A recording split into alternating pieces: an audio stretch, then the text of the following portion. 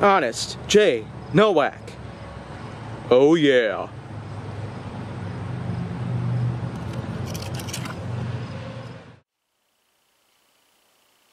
A pleasure to meet all at last, and welcome back to Flying with the Foam on HJN. And right now, I'm pretty darn excited to showcase another blaster that I've been used during the production of Nerf Secret Reveal Bolts of Intrigue. And just a reminder that, well, it ain't part one and part two anymore. It is now a full-on feature film. And to prove this, well, here comes another Rivals blaster that I had used during the production of the film itself.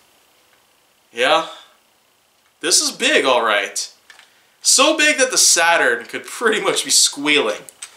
Yeah, it may not be as big as some blasters that I have used during the production of the film as well, but this is in fact one out of many that I'd used during the final battle with the enemy and the pretty big army of Dark Clones.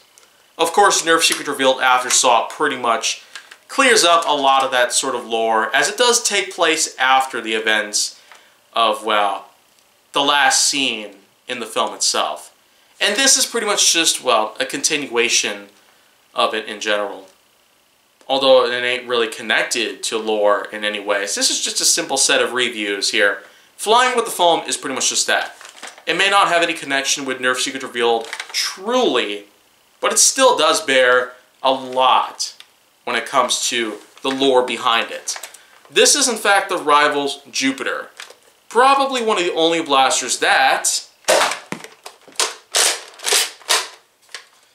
has itself actual bolt action. And oddly enough, I'd say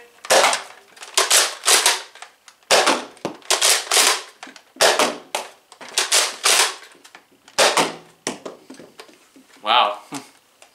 I'd say that this is pretty intense stuff going on around here. But the way I see a blaster like this, it just screams absolute epic awesomeness all across the board. And the reason for this as well, because first of all, this is one of the only blasters that you could find within the Edge series because the Edge series had pretty much been known for the fact that there were supposed to be some reskins of some other blasters out there, like the Kronos and Helios, but unfortunately those got canceled. And when that actually happened, there were quite a few different concepts that Hasbro had taken down with them. There was in fact going to be a set of holsters that you could equip to your belt or something like that, where you could store your Kronos blaster in, and there was actually going to be a rival-style drum mag. Yeah, no joke. A rival drum mag. That would have been impressive if they actually knew how to put it together. But because those concepts have been lost and production had been canceled, I guess we won't be able to find out about how a Rivals drum magazine is going to work. Maybe not for a while, but who knows what could take place.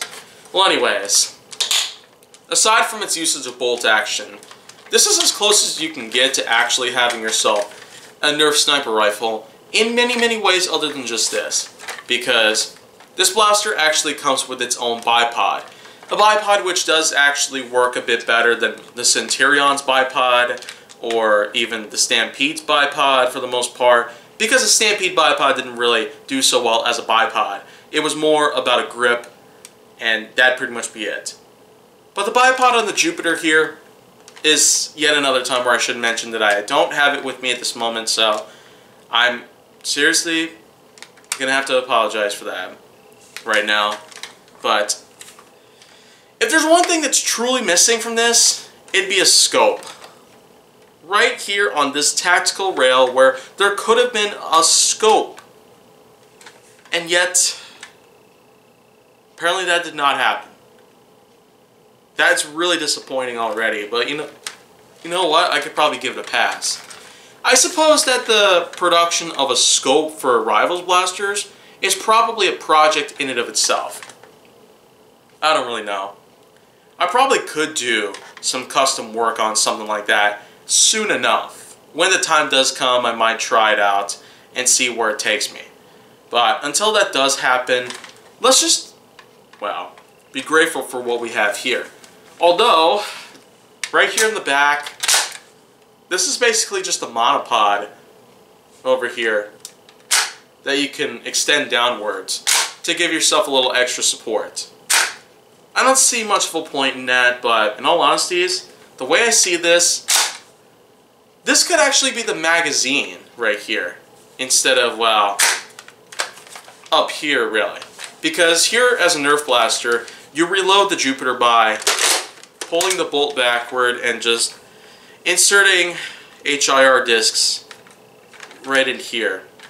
HIR rounds of all sorts, well, regardless if they're the regular yellow ones or if they're the edge color ones which are lime green or if they're the camo ones or anything else. The Jupiter certainly does seem to handle pretty well, holding 10 rounds at once. That's already a pretty good capacity. It may not be as big as certain blasters out there like the Chaos, Nemesis, or Prometheus, but wow, it sure does handle a lot. But the way I see it, I guess the Jupiter is probably not meant for everybody here because the Rivals blasters are advertised to be for people 14 and up. 14 years of age, to be more specific. I guess I don't really know what else to say about the Jupiter, but it still is one of my favorite blasters from the Rival series at this point. I don't really know much else to say, but that's the Jupiter for you. One of the only edge blasters that you could find within the Rival series, but pretty soon, the third and final that we currently have in the Edge series is going to have to be talked about pretty soon. So please stay tuned for more here on Flying with the Foam and all that. And if you want to see more, go down to my channel. Make sure that you like, subscribe, comment, follow me on social media, and stay on the Hollywood side.